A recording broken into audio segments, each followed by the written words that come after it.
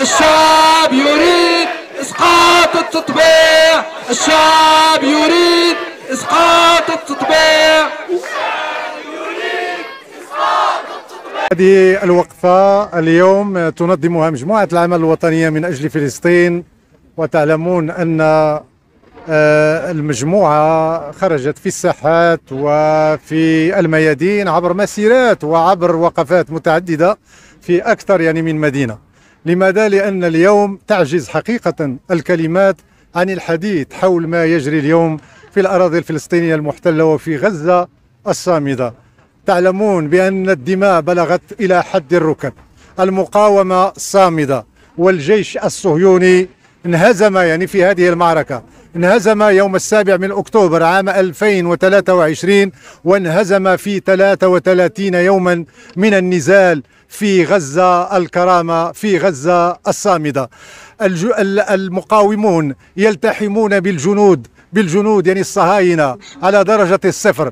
ولذلك نحن نقول اليوم بأن غزة انتصرت والجيوش يعني الصهيونية انهزمت وانهزمت معها أمريكا التي دعمتها ووفرت لها الغطاء الكلي يعني في هذا العدوان الغادر الذي ذهب بالأطفال ذهب بالنساء ذهب بالشيوخ كذلك يعني تم تدمير المستشفيات المدارس. إذا نحن أمام إبادة جماعية نحن أمام آه، مجازر يعني إنسانية. ولذلك نحن نطالب اليوم بأن تتحرك روسيا والصين لوقف هذه المجزرة. لا نتحدث عن المجتمع الدولي. المجتمع الدولي تواطأ. ونقول للصين ونقول لروسيا يجب أن تتحركوا لوقف هذه المجازر اليوم لأن النظام الدولي يجب أن لا تبقى.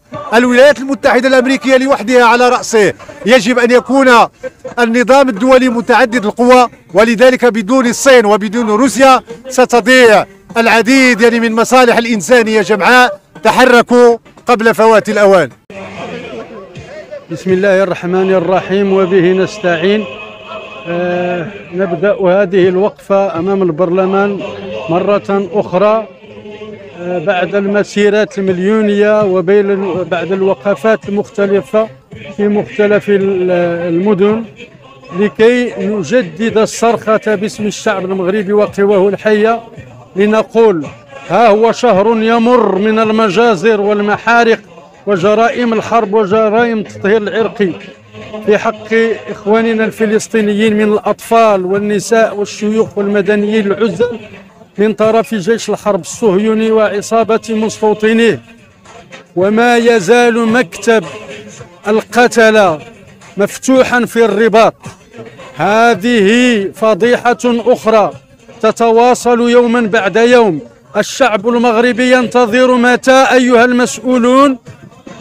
تنزلون ببلاغ رسمي ونهائي استجابة لانتظار الشعب المغربي. الانتظار حسب الأولويات للشعب المغربي وإغلاق مكتب الجواسيس والقتلة المتآمرين فيما يسمى بمكتب الاتصال الصهيوني بالرباط فهل أنتم فاعلون أم أن الشعب المغربي لا لا يعني لكم شيئا؟ أم أن شرف المغرب لا يعني لكم شيئا والمغاربة؟ هذا السؤال بذمتكم يوما بعد يوم.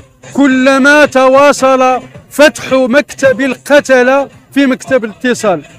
هذه هي رسالة هذه الوقت وكلنا فدا فدا وكلنا فدا فدا فلسطين صامدة. بسم الله الرحمن الرحيم. هذه وقفة من من إحدى الوقفات والفعاليات المتواصلة التي تنظمها مجموعة العمل الوطنية من أجل إبلاغ رسائل متعددة. الأولى هي للشعب الفلسطيني لمقاومته الباسلة التي انتصرت يوم 7 أكتوبر وما زالت تنتصر على الكيان الغاصب في كل يوم بصمودها وثباتها وثبات الشعب الفلسطيني. رسالة أن الشعب المغربي يقف صفا واحدا لدعم هذا الشعب إلى حين نيل حقوقه المغتصبة وإلى حين تحرير أرضه وعاصمتها القدس الشريف.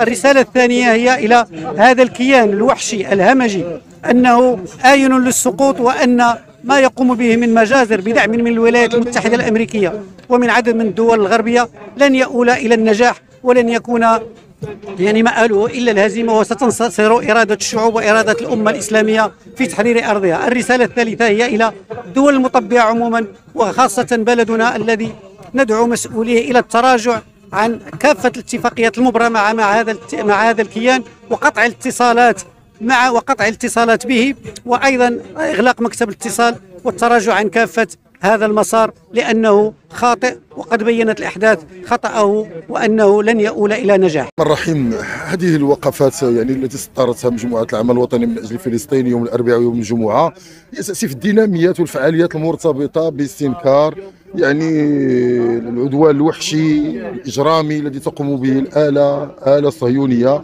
آلة القتل الصهيونية بغطاء أمريكي والدول الأوروبية. اليوم نحن مستمرون في الخروج مستمرون في المسيرات مستمرون في الاستنكار مستمرون يعني في توعية الشعب المغربي وفي بناء وعي مقاوم تجاه القضية الفلسطينية. وأظن على أن المقاومة الفلسطينية اليوم بقيادة كسائب عز القسام تحقق يعني نصرا بعد نصر استراتيجي واليوم نحن في حاجة إلى دعمها نحن في حاجة إلى توجه إلى الرأي العام الدولي من أجل إيقاف الحرب العالمية على منطقة صغيرة وهي منطقة غزة وعلى فصيل مقاوم صغير جدا اللي هو كتائب الدين القسام ولكن كبير في مهمته نيابة عن الأمة في مقارعه ومحاربة الكيان الصهيوني. واليوم الشعار ديالنا هو اليوم على كل الحكومات العربية والإسلامية وفي مقدمتهم الحكومة المغربية على أن يسقطوا مسار التطبيع وأن يتوجهوا إلى الضغط على المنتظم الدولي من أجل فتح المعابر ومن أجل يعني تقديم الدعم الإنساني لأن اليوم رغم التجويع رغم التعطيش رغم القتل رغم التهجير رغم الإبادة الجماعية فالمقاومة ستنتصر بإذن الله وهي اليوم ترسم مسار التحرير بإذن الله. الصامدة غزة الصامدة وكلنا فدا فدا. كلنا